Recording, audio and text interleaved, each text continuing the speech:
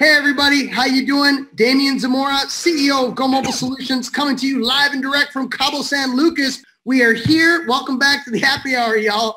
That's right. We are here, and I have one of my great friends, one of my great friends, Rob Burns from San Diego.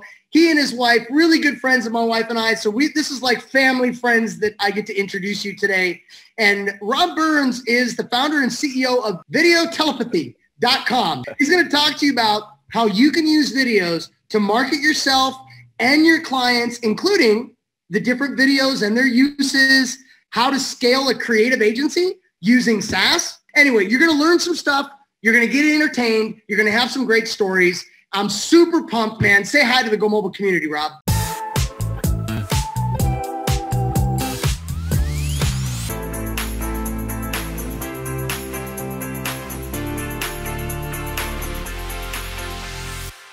Hey, GoMobile community. How you guys doing? Good to have you on, man. I've been waiting right. for this one. Video, as you know, and mobile are two of the hottest sectors of anything for marketing for businesses now. You know that. And, you know, where video and mobile meet obviously is, is incredibly uh, uh, good information that we all need to know. But content creation and how we can sell and how we can monetize and how we can actually scale our businesses as agencies, landing more clients using good, smart video work. So with that, I'll, I'll turn it over to you for your first piece.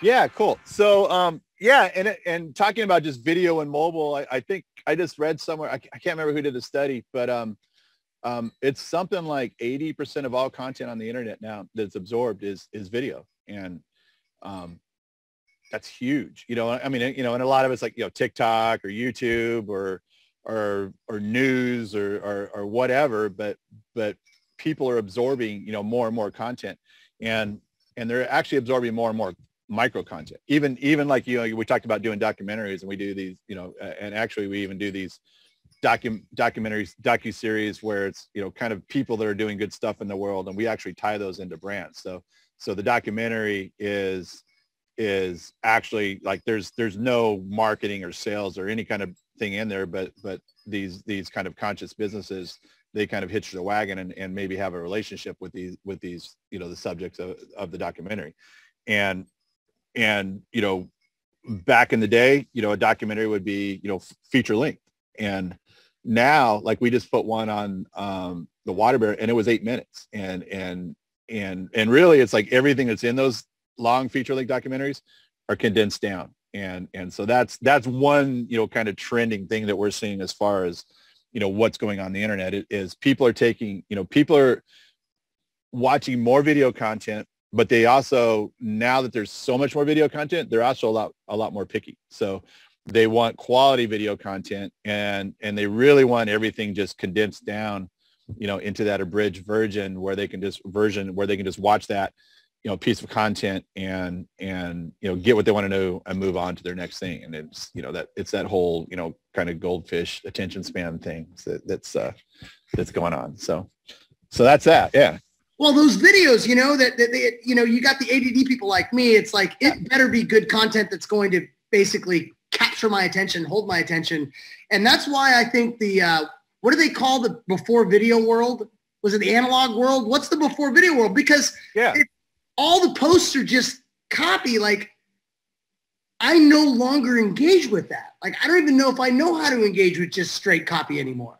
Yeah, yeah, even like long yeah, I mean, and and that's the thing too, though, is is really you, you still have to do that because, I mean, people's just people's brains are just different. Like some people are researchers and, and they want to look and go through the data, and so sometimes that's where that long long form sales copy you know is at. But other people are visual, so maybe they want to see a picture or they want to watch a video, and and and it's just the way you know the way they learn, and so uh, we really like having a combination. So, you know, adding, you know, basically giving every option. But I also think too that, you know, it, you know, video is really still pretty recent as far as just video blowing up because I think a lot of people just didn't know the technology was there. They didn't know they could put video, you know, you know, they didn't know the bandwidth was there and they didn't know that, you know, it, it was just going to work on the internet. And so it's, it's been the last couple, maybe two years, you know, I mean, we've had VideoTelepathy six or seven years now. And the last two years is where people are really just understanding and they're getting it. And, and they're really understanding how to use video because it, it is different. So, you know, writing copy for, you know, something that's on a page versus a video is going to be completely different. And, and so, and so now people are really learning how that works and how to use a video. And um, it, it's a great way, especially if you're a personal brand, because then, you know, people get to know, like, trust you. That's, you know, a personal brand. That's what, that's what you're about. And so using video, then you really get to, you know, you know, see that person as for who they really are as opposed to just the stuff that they're writing on a page and, and a few pictures. And so that, that, you know, that's very powerful. Or a brand story, you know, a brand that has its, you know, certain ethos and what they're about. And, and, and that's a huge thing we're seeing too, as far as people, um, you know, I would say folks that are 35 years old or younger, they actually look at the companies that they buy their stuff from now and they say, you know, what do these companies stand for? And so so those brands that are really kind of creating those stories saying, well, this is what we're about and this is what we believe in and, you know, and, and we're just like you, those are the ones that are really doing super well. And it doesn't have to be really fancy or complicated or anything. It's just, it's really about making a connection. And that's really, I would say on the video side, that, you know, everything you do, that's what you need to look at. It's like, you know, why would somebody watch this? And how do I make a connection with that person? And, and really try to understand who your audience is. So.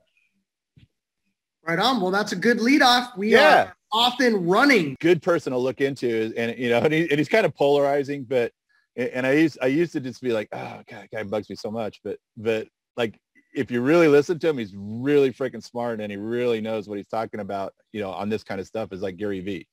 And and Gary Vee has if, and if you want, I can send you a link. He's got like a page where it's like, how do you take one piece of content and like turn it into like, you know, 30 years worth of stuff or whatever. I mean, like literally you just take like this one little one minute thing and, you, and it just turns it into this, these billion pieces of content. So, um, you know, first and foremost, I think context is everything. So, you know, what, what is a message, you know, that your client wants to get to their people, you know, so, so if they're, if they're looking to grow their business, you know, what's their message and, and, and, and I think context, context is more important than say, qual you know video quality or, or you know technical you know whatever because it's real and that's the thing too. So if it's like a cell phone thing shot at an event you know make you know don't try to make it like Scorsese. Just make it a cell phone thing shot at an event but focus on the content. Focus on your client's message. You know what is what does he want to get across? You know ask him those questions and ask you know people that are that are at his event you know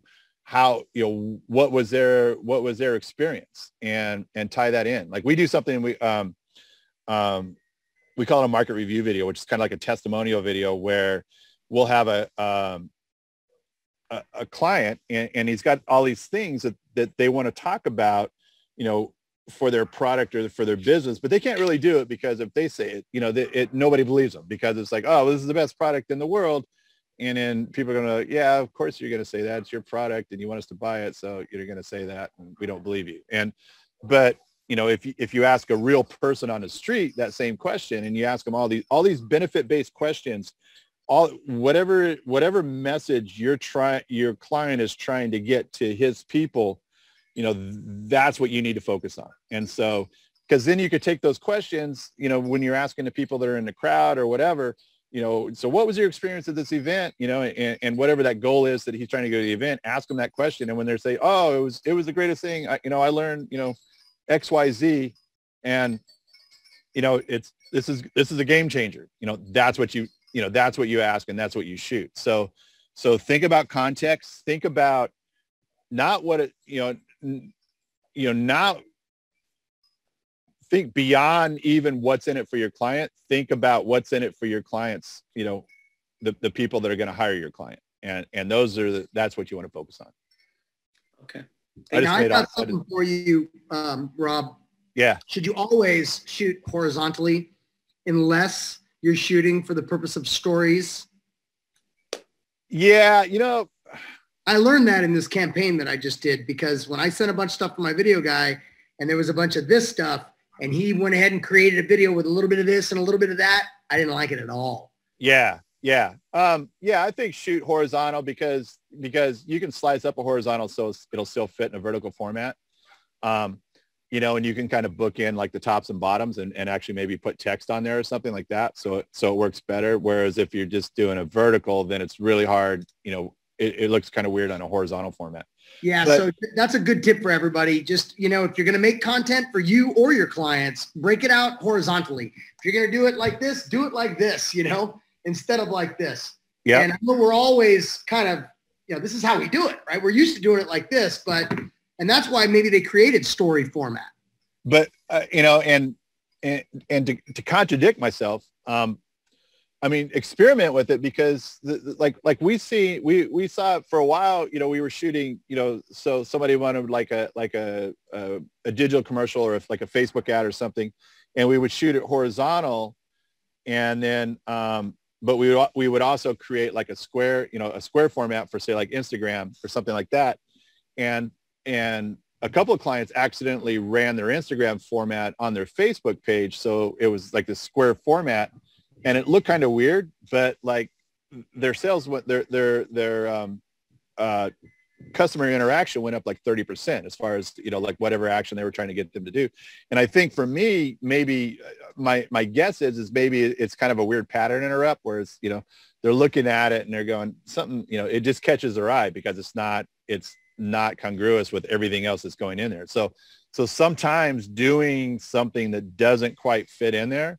and, and again, I would say just experiment. Um, it, it, it might actually turn out to be, you know, kind of a kind of a, a good thing. So.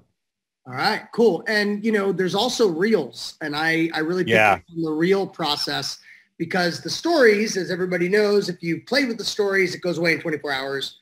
But reels is also Instagram. It's also vertical, and you can take a series of videos, clip them together, put some music on it, and you've made a little video for Instagram purposes. Um, yeah. But other than that, I mean, my my my what I learned was definitely horizontal as much as possible. But you're right. Yeah. I mean, you, you do need to mix it up a little bit. I, I think you know if you're starting out and you just want to kind of keep things right, you know, do horizontal, and then you know later on when you're you know when you're just kind of experimenting or testing things out, sometimes you know goof around with your formats and see see if uh, it, it, causes some kind of a response. And, and just test it out. Where else can you take us then? So, so that whole context thing I think is key and, you know, what to shoot. I think the Gary Vee that you teed up, one of the things that I learned from Gary was record, uh, document everything. Just yeah. record everything and then figure out what you want to use later. Gary Vee, he's like the most humble guy ever, and he'll tell you that too. So, so. but he's awesome. I mean, every time, every time I'm like, ah, and then I'm like, ah, you know, he's kind of right. You know, he's, he's he's a smart well, cat. He, he, got me. He got me thinking early on, like years ago, about just like whip it out, just yeah. whip it out and record. That's it. That's it. Like I think, and I'm I'm really big on that too, where I'm allowing you know kind of failing forward. Just allow that process to teach you.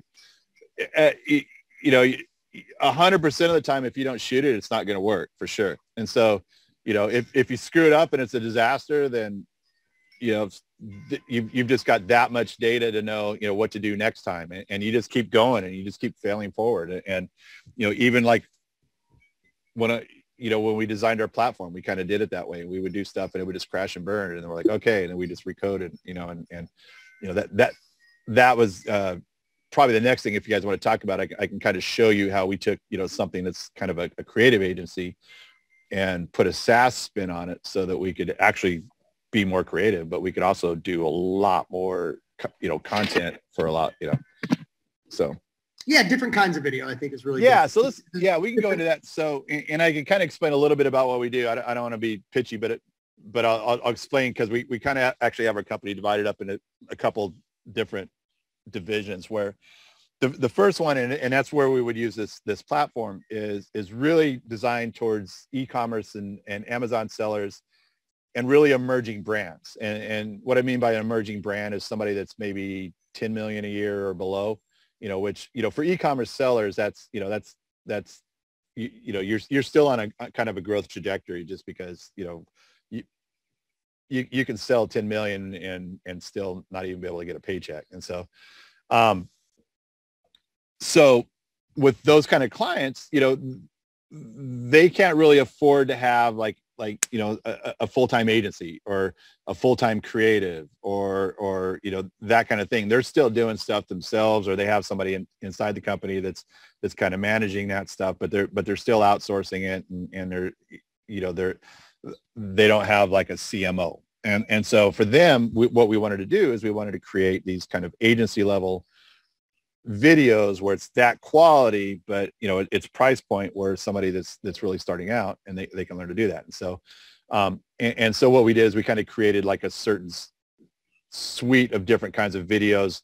We, we researched really kind of what's everybody doing in ecom. So what do they need? And so like we would do, say um, for Amazon sellers, we would do something like a product demonstration video. Product demonstration videos, because Amazon's really good at, um, they're really good at making like a million rules and then not telling anybody and then like summarily just rejecting everything you know from some dude that's outsourced from somewhere that looks at it for about 30 seconds. And so you really kind of have to fit within this tight guideline that, that most people don't know. And, and just the fact that we just did so many videos that we kind of figured out that formula. And so the product demonstration video is really showing the product being used and it's putting the product in the user's mind's eye. So we, what you want to do is you really want them to imagine that they're using the product, eh, you know, while watching the video. And, and so, so that's the goal. And so then it's also supported by um, dynamic text, which is animated text. And those are like the benefit points. Those are the things, you know, that are also going to cause, you know, kind of maybe an emotional purchase. And then, um, you know, different kinds of music and things like that. And then, um, and those actually convert really, really well. Uh, I would say the next kind of video is, you know, the next step up is where say maybe somebody is like maybe uh, a Shopify seller, you know, an, an, an ecom business where they're not constrained to actually having to, you know, follow those Amazon guidelines. And then maybe you have like a spokesperson video where it's, you know, it's almost like a QVC style thing where it's like, hey, I just discovered this, you know, cool new face cream and, you know, let me tell you about it. And then, you know, they kind of go through the benefits. And those actually, believe it or not, the demo videos, um, that aren't talking probably convert twice as good as as kind of those old style QVC style videos. And, and you know, eight years ago, that's that's all we did. You know, like eight, it'd be like an eight minute video with like a spokesperson talking about the product, and and now like a 35 to 45 second demo video will just crush that. And and really, what it is is basically taking all that information and condensing it into 35 or 40 seconds and um, you know uh, going from there as opposed to just having this big long you know thing where people are kind of watching and losing their attention and whatever. So so you know three or four years ago people even then they would they you know those the first the first style would convert better. Another good video i would say and, and this is again you know is, is on the ecom side would be something like we were talking about the market review video and that's where we'll go and we'll take we'll take a product and we'll go out. Um, we'll do two different ways. So so one is is like we'll go out on the street and and this is stuff too that like um, anybody can do and you can do this with your cell phone even so if you're like you know if you're starting out and you you know and you want to do stuff and you're on a budget like you can do this on a cell phone and this is where we we would go out and and we would have like five or six questions that are real you know based around a benefit point um, and again, like I said, I was saying earlier, these are things that probably like you can't say about yourself, um, about your business, but if somebody else said it, you know, they're going to edify you. And so an edification, I would say is probably, you know, the best thing you can do in a video as far as, you know, having conversions or, or, or having somebody take action because, you know, it's, it's that whole little primitive primal thing where it's, it's, you know, you know, somebody came back to the campfire and said, "Hey, there's a mastodon out there," and they're like, "Oh, we better look, you know, we better look out," or you know, a saber-tooth tiger or whatever. Um, and, and, so, so what we'll do is we'll take those fibers, we'll we'll go out and say maybe it's a coffee brand, and maybe it's an organic coffee brand, and the client has challenges because you know most organic coffee, you know, for coffee snobs, believe it or not, they believe like organic coffee is kind of weak and and and and bitter, whereas like there's more commercially grown stuff that they like better. It's more robust. And so, so that's the problem that you have to overcome. So like if you made a video and you said, well, hey, I'm, you know, our coffee is like, you know, it's, you know, it's super robust and it's organic and it's, you know, completely different than, you know, any of the other organic coffees. People are going to go, yeah, whatever. Yeah, sure.